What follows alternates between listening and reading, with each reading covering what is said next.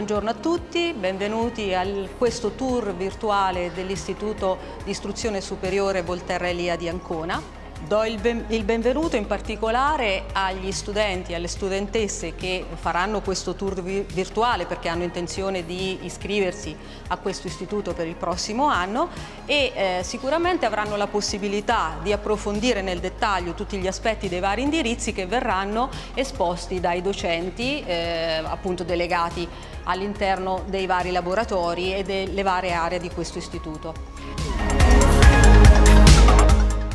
Sono Giovanna Battistini, insegno informatica nel Dipartimento di Informatica e Telecomunicazioni di questa, del nostro istituto e sono anche la coordinatrice del Dipartimento. E, ehm, I ragazzi che vengono a frequentare il nostro indirizzo eh, si preparano a, ad entrare nel mondo del lavoro, quello delle ICT, quello che comunemente chiamato ICT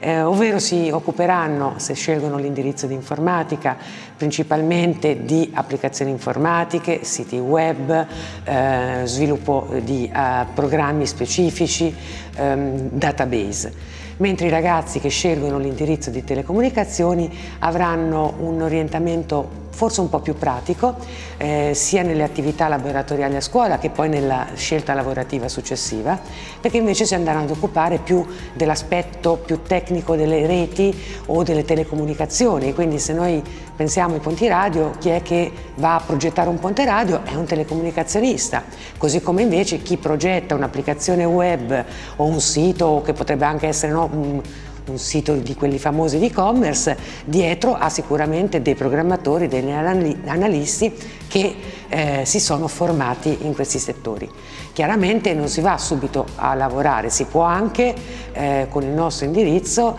essere preparati per affrontare l'università, le università tecniche o gli istituti tecnici superiori e quant'altro.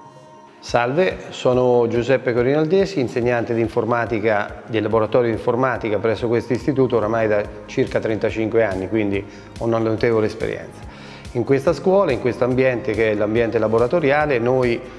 insegniamo ai nostri ragazzi la programmazione, cioè come istruire un calcolatore a compiere delle cose. Considerate che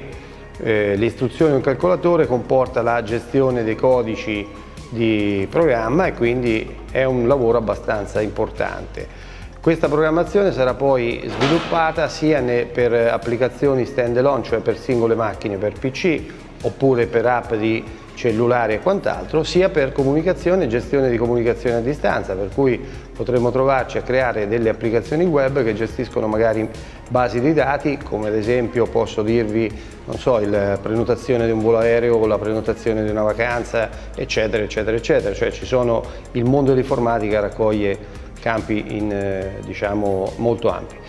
e spazi in campi molto ampi. Detto questo poi ci occupiamo oltre che della programmazione, un tecnico informatico si occupa anche della costruzione di reti di calcolatori per cui ci preoccupiamo di come dialogano le macchine tra loro a livello diciamo, eh, basso, cioè a livello di rete effettiva dei calcolatori sia locali, rete quindi cablate localmente che cablaggi a distanza per cui si occupa di come un cellulare dialoga con un'antenna e arriva magari a prendere informazioni da un qualsiasi eh, calcolatore locale. Eh, è una bellissima specializzazione, è ovvio che comporta un impegno eh, di lavoro e di studio non indifferente perché le problematiche da affrontare sono parecchie.